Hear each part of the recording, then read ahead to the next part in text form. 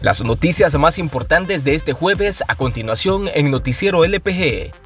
Amnistía Internacional confirmó el pasado miércoles que se ha estado ocupando el software de espionaje Pegasus para vigilar dispositivos electrónicos de periodistas y activistas de derechos humanos. Según Erika Rosas, directora para las Américas de Amnistía Internacional, el uso de Pegasus representa una amenaza muy grave para los derechos humanos y libertad de expresión del país. Rosas encuentra preocupante la normalización del acoso a periodistas y defensores de derechos humanos en El Salvador e hizo un llamado a investigaciones exhaustivas por su parte, la Asociación de Periodistas de El Salvador, APES, también condenó el espionaje y señaló como principal sospechoso al gobierno. Informó que periodistas de medios independientes han reportado al menos 226 intervenciones a sus celulares mientras se realizaban investigaciones con la nueva tregua con pandillas y su acuerdo para fines electorales. Y la Comisión Especial de Antejuicio de la Asamblea que investiga a los diputados José García y Gerardo Aguilar ha dictaminado a favor del desafuero de los parlamentarios para que sean procesados por la Fiscalía.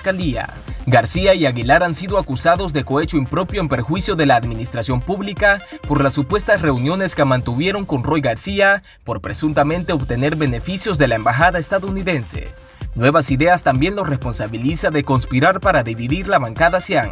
La defensa de ambos diputados cuestionó la legitimidad de las pruebas presentadas y argumentó que el proceso estaba viciado.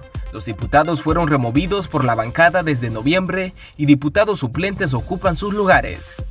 Y la Organización Internacional para la Defensa de los Derechos Humanos, Human Rights Watch, incluyó a Nayib Bukele en su lista anual de líderes con tendencias autócratas.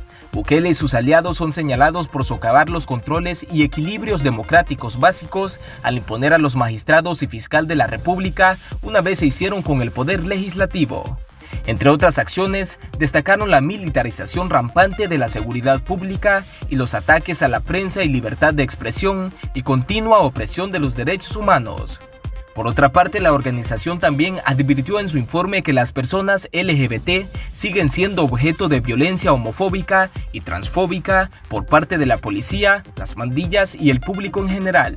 Y según el portal de transparencia del Ministerio de Hacienda, el titular de la institución, Alejandro Zelaya, estaría percibiendo 3.500 dólares mensuales, 726.28 dólares más que lo estipulado por la ley de salarios.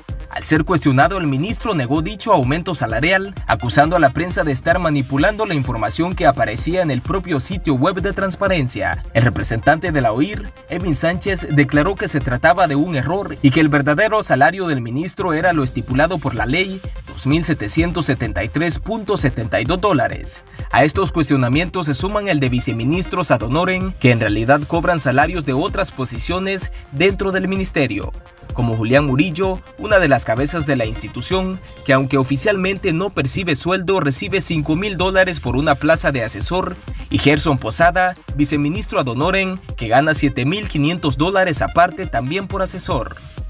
Qué bueno que se informe a través de este espacio informativo, los esperamos mañana con más información.